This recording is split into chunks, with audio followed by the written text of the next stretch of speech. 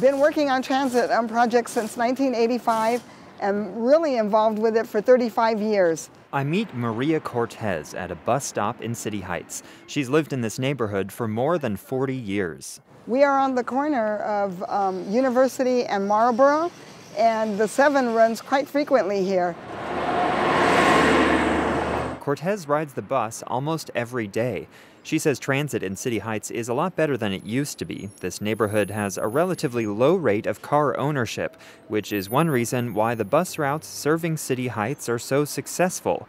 A lot of people depend on them. To us, it shows that MTS is caring about what, what happens to us here in City Heights. Under MTS's Transit Optimization Plan, several bus routes serving City Heights and the greater Mid City area are getting more frequent service. Some routes are also being shortened or split into two segments, so delays don't happen as often. Cortez says she's thrilled. Thank God MTS is finally listening to us. For years, we have been on MTS to um, increase transportation here. Um, and not only just here, but throughout San Diego, period.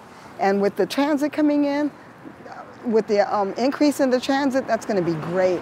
I think it's awesome, and we need to start somewhere, so why not here? Of course, new bus services aren't free. To help pay for the increased frequency, MTS is planning cuts to other routes that are less popular. One of them is Bus 83, which connects downtown with Mission Hills. The route has seen its ridership plummet in the past decade. Much of its route now serves a low density neighborhood with homes worth more than a million dollars. Still, some advocates say the bus's remaining riders depend on it. Anytime you take away service, there's some people that are impacted. Paul Jablonski is the CEO of MTS. We understand that, we care about that. That's why we outreach, that's why we listen. That's why we go through great lengths to try to do compromises where we can still keep it. With fewer people riding transit, MTS is getting less revenue from passenger fares. Jablonski says he saw two options for getting out of the resulting budget deficit cutting services or trying to grow out of the problem. With our clientele, I'm, I always want to do fare increases as the last resort.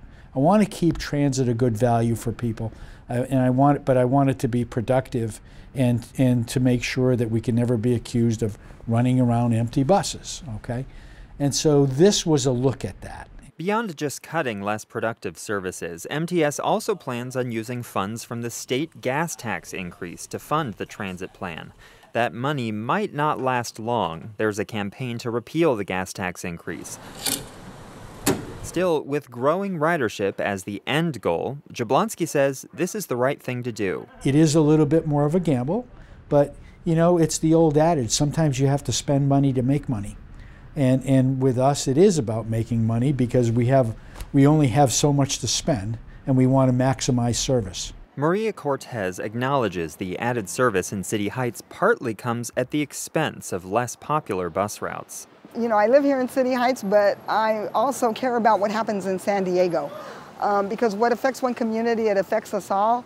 But if there's not that many people that are riding the, the bus, then they do need to increase more frequency in the others where, like with us here, we are riding the bus a lot and we have a lot of ridership. The MTS Board of Directors will decide whether to approve MTS's plans Thursday morning. Andrew Bowen, KPBS News.